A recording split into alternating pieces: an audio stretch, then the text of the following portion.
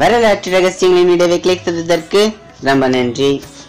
எழுபத்தைந்து வருடங்களாக புதையலை காக்கும் முதலை. அதை பற்றி தான் இன்று நாம் பார்க்க போகிறோம். காசர்கோட்டு மாவட்டத்தில் அமைந்துள்ளது இந்த அனந்தபுரம் என்கின்ற கிராமம். இந்த கிராமத்தில் ஏரிக்கு நடுவே ஒரு கோவில் ஒன்று அமைந்திருக்கிறது. இந்த ஏரியில் ஒரு சைவ முதலை ஒன்று இருக்கிறது. பத்மநாப சுவாமி கோவிலில் இருக்கும் புதையலை இந்த முதலை தான் காக்கிறது என்று கூறுகிறார்கள். பத்மநாப சுவாமி கோவிலுக்கும் இந்த கோவிலுக்கும் ஒரு சுரங்கப்பாதை இருப்பதாகவும் உள்ளே இருக்கும் தங்கத்தை இந்த முதலை காப்பதாகவும் கூறுகிறார்கள். இந்த முதலையை மகாவிஷ்ணுவின் அவதாரமாகவே பார்க்கிறார்கள். இந்த முதலியின் பெயர் பாபியா. புலி பசிச்சாலும் புல்ல தின்னாது என்று கூறுவார்கள். அதே போல்தான் முதலையும். எவ்வளவுதான் பசித்தாலும் சைவத்தை மட்டும் உண்ணாது.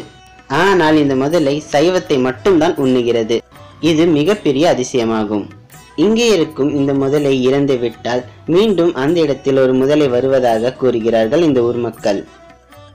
மறக்காம எங்க சேனலை சப்ஸ்கிரைப் பண்ணுங்க. இந்த வீடியோ உங்களுக்கு பிடிச்சிருந்தா லைக் பண்ணுங்க. இது மறக்காம நண்பர்களோட ஷேர் பண்ணுங்க.